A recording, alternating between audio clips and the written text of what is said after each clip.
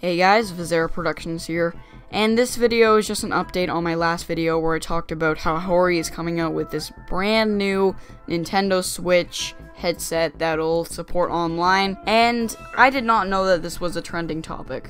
But basically, to sum it up, I'm not going to go through the entire article, but the Nintendo Switch online service was just revealed, and it will come out in 2018, and it'll be $20 a year. I do think that $20 a year is a huge advantage over PSN and Xbox Live, but again, money is still money. Some people may not afford it. $20 a year is $20 cheaper than I expected, and again, $40 cheaper than both Xbox Live and PSN.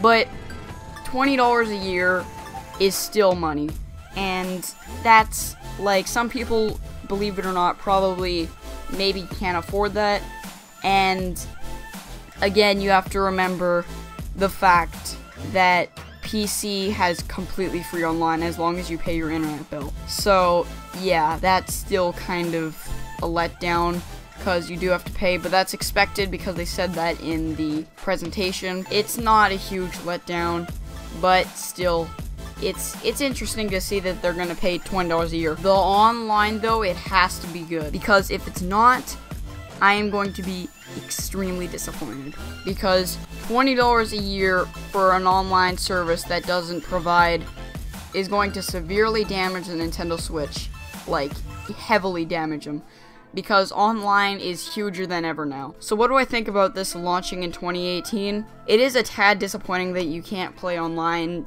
as quick, but you can still sort of play this Frankenstein version of the Switch online, which I guess makes sense that you can try it out for free because they want to like provide online while they're working on this other one. But still, I feel like that this whole thing should have come out like at least in summer or as they were originally going to say in like August. But the fact that it's 20, coming out in 2018 is not is not a huge problem.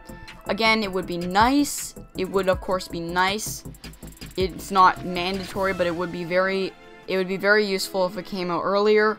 But still, I understand that they want to polish everything. So what do you guys think of this? Please leave your thoughts in this comment section below, and see you.